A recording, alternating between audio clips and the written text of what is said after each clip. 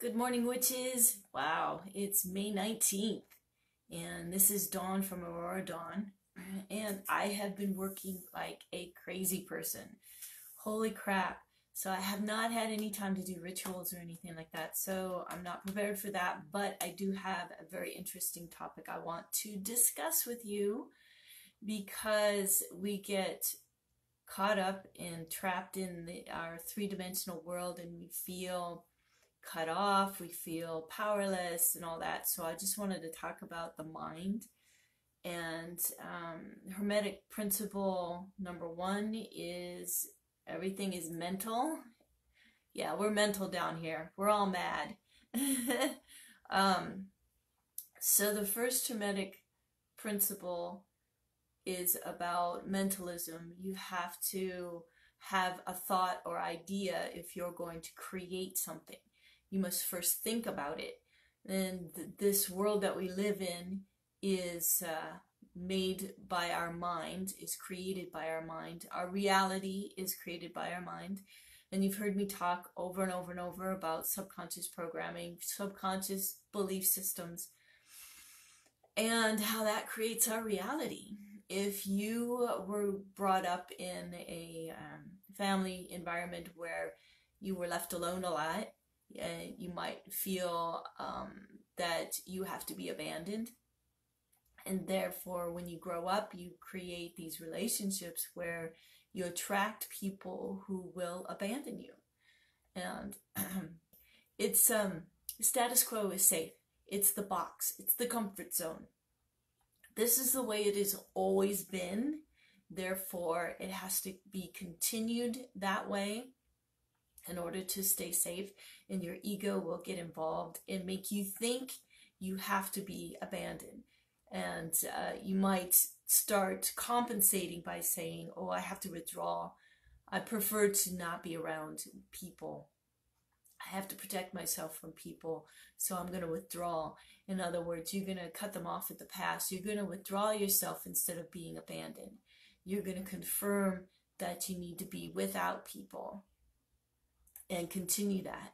Um, and and that feeling of loneliness because people keep abandoning you, abandoning you, then you compensate by saying, you know, I really like being alone. I don't want to be around other people. Just send me off to a cabin in the woods and I'll live there forever as a hermit. But the truth is that being abandoned, feeling abandoned, is um, uncomfortable and it hurts. So there's this conundrum, this this I don't know what it's your subconscious thinking that this is the way it needs to be. And remember, it's software, it has no feelings, has no way of communicating logically with you. You can't discuss anything with it. You can't, um, you know, hey, this is a better way. This is this program. This is the way we're going. That's it. So you have to actively replace that programming so that you can get out of that rut uh, and create the life that you actually want. So let's talk about mentalism as a um, practical, something practical. You, um, if you create your realities, and uh, for instance, creating abandonment in your life, then you can do the opposite. Um, but it's important, from what I've found, if I have a bad habit that's not connected to an emotional trauma, it's easy to correct. But if I have a bad habit I cannot seem to, to quit or change, or a belief that keeps creating what I don't want and keeps creating uncomfortable feelings and emotions, then um, there there's an emotional trauma connected to it, and the emotions anchor it. So the deeper the trauma and the pain, the more difficult it is to change it.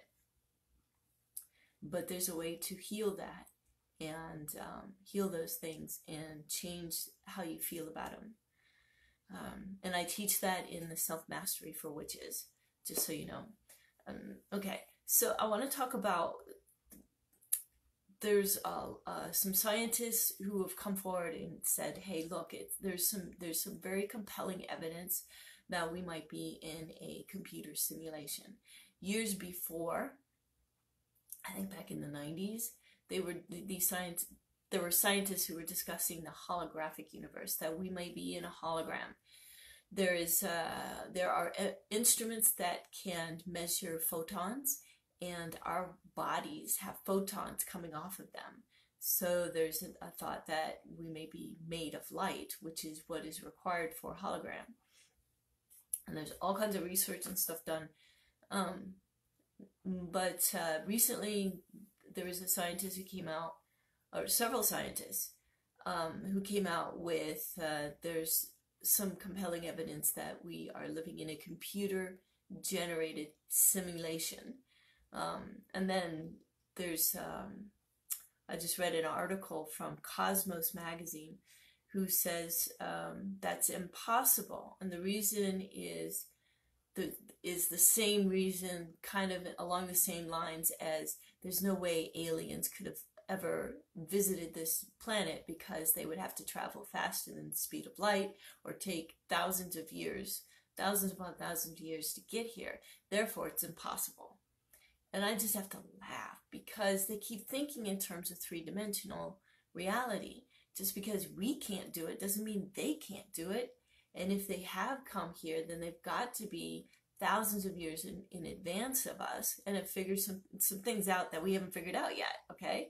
So, yes, we have a law that says we cannot travel faster than the speed of light, but that pertains to in a three dimensional world or fourth, four dimensional world because time is in the fourth dimension.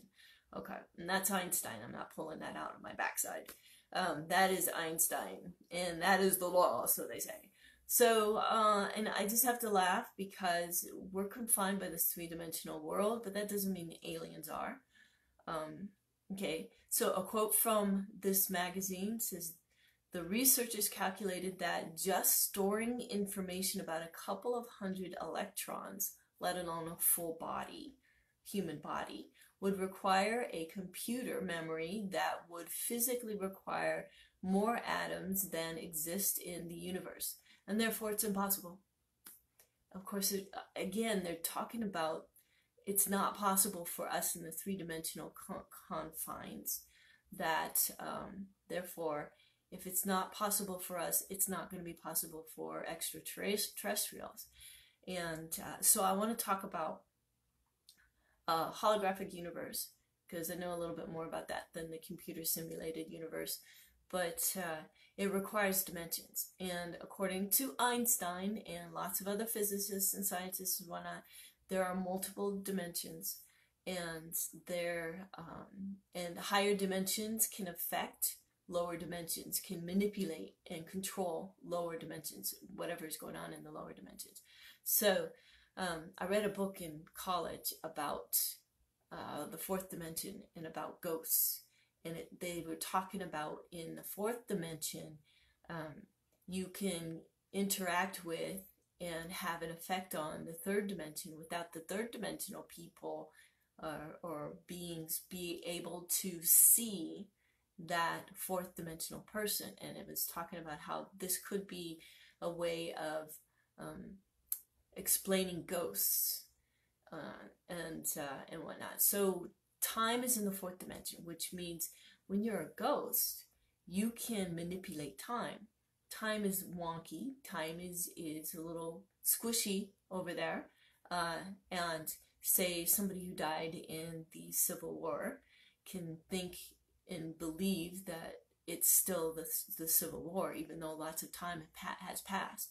And if they are um, able to communicate with somebody in today's world, they will not understand how they got to 2019 when it's still back in the Civil War. Um, that time hasn't really passed for them. Or they can advance into the future, into their future, being where we are present.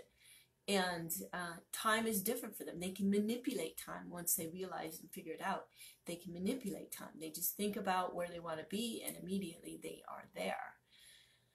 Um, so this is why I do not believe scientists understand what's what's really going on here. If you use your mind, if these extraterrestrials have a way of using their mind, learn how to do that to manipulate time, they can get here very quickly and manifest uh, into our three dimensional world.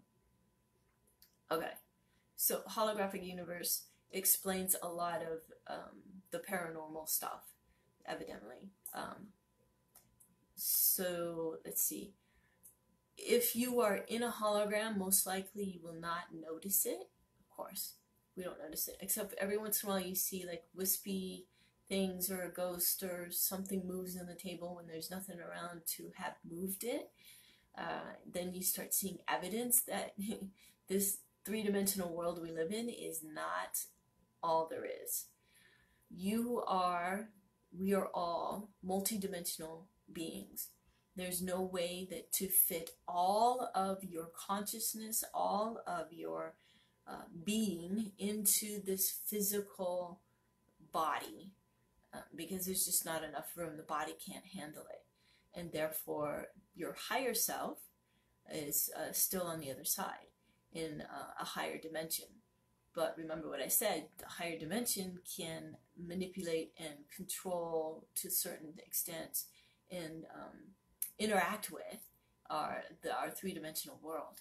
Um, and so, and of course, there are rules. The prime directive from Star Trek comes to mind where they can, if they're going to be our spirit guides and our higher self is supposed to help us, they cannot interact or not interfere with our um, the direction we want to go in. So we have like the soul contract and stuff like that. And if we here on the earth plane uh, want to go in a different direction, they have to let us because we have free will.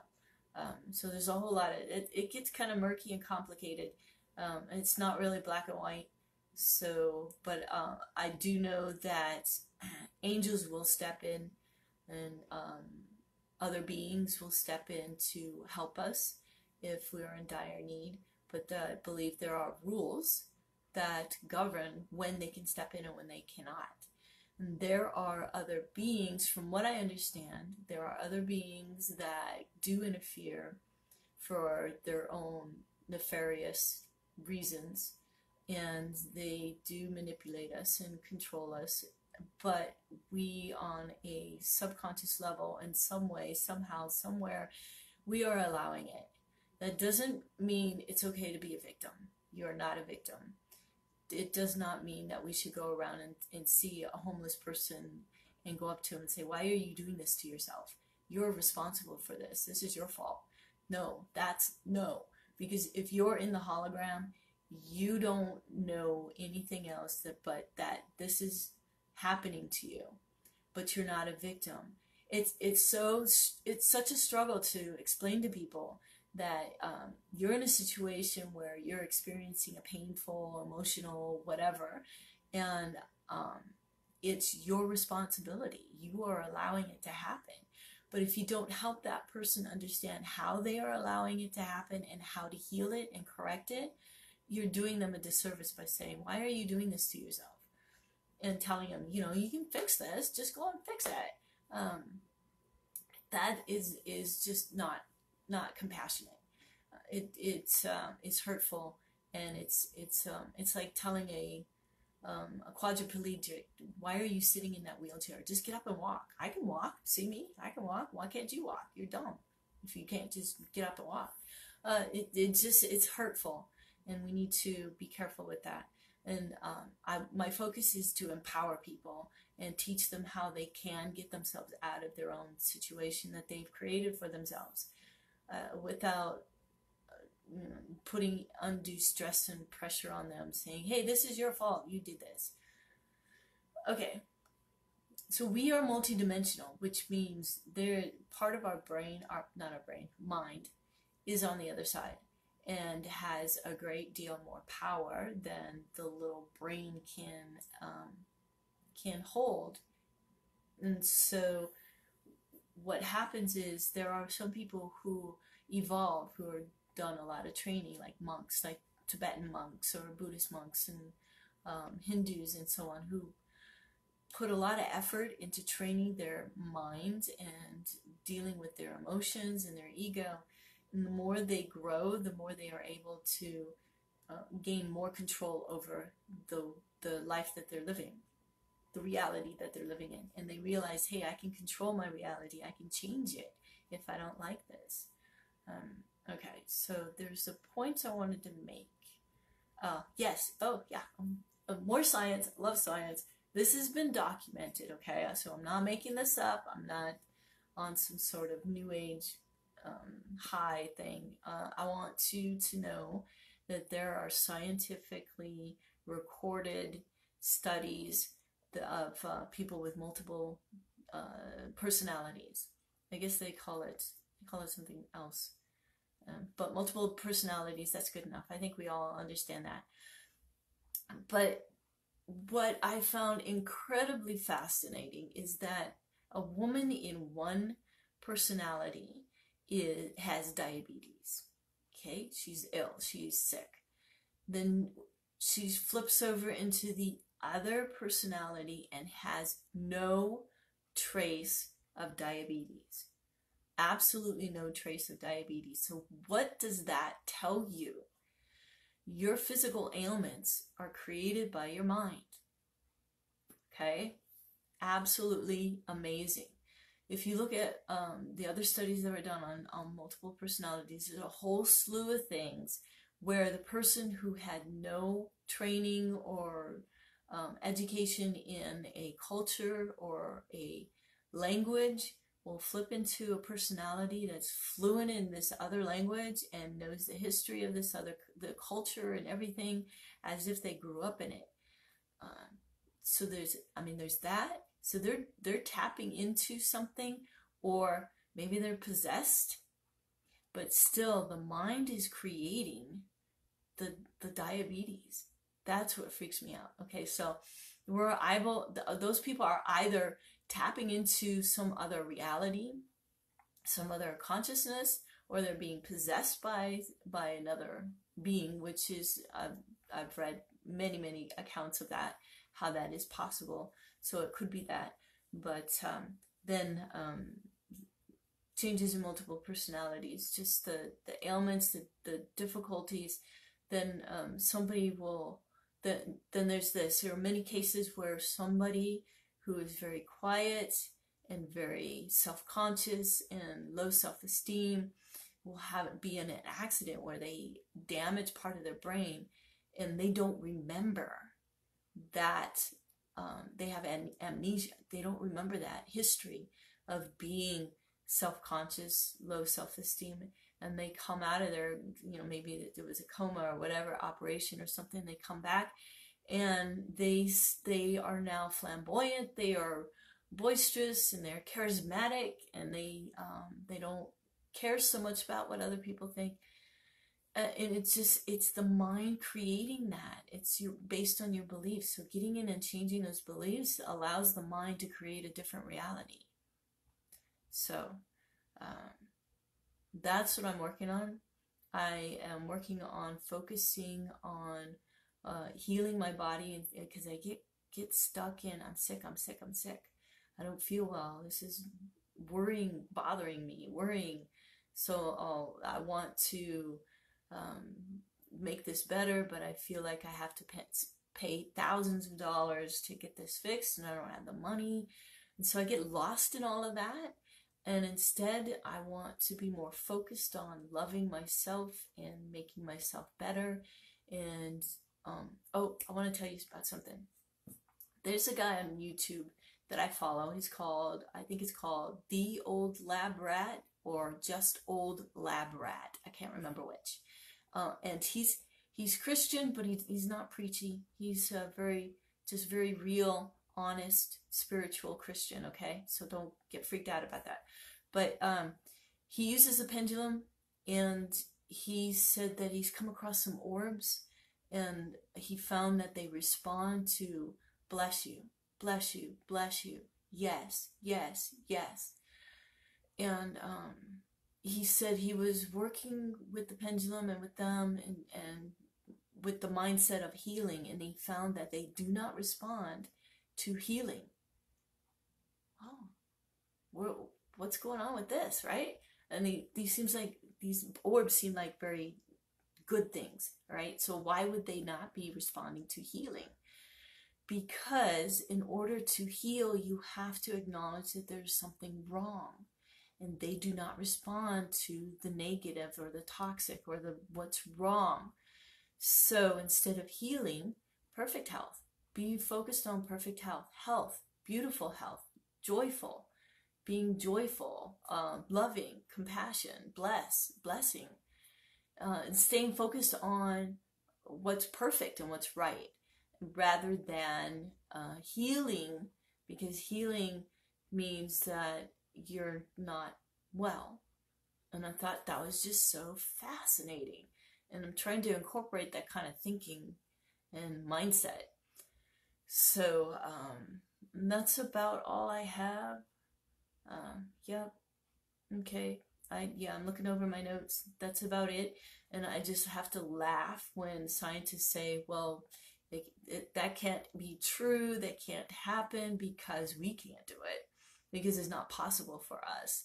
That that means extraterrestrials everywhere, no matter how advanced they are or more evolved they are than us. It's impossible because we can't do it. Right? They're not using rockets. if they're thousands of years in advance of us, they are not using rockets. They are not using oil. they are not using uh, any of that because they're so much more advanced. They're, they're incorporating different dimensions and they're folding space and time. Uh, so anyway, it's uh, that's it for me. I hope this uh, this inspires you, makes you feel good and happy and joyful make your reality more loving and compassionate and filling your life in, with good things for yourself. When you build yourself up, when you do what's good for you, it is not being selfish. If you do it in expense of somebody else, that's selfish. You don't want to be selfish. Build yourself up with goodness, and then you can give out of the overflow of love for yourself instead of, oh my gosh, I got to help so and so and you're drained already and then you resent them for asking you and then trying to reconnect. Oh, all right so i lost connection um, with the internet. Figures. So anyway i gotta go. I love you guys and if you like this this video please give it a like and comment below all right so i'll see you later. Have a wonderful rest of the day and blessed be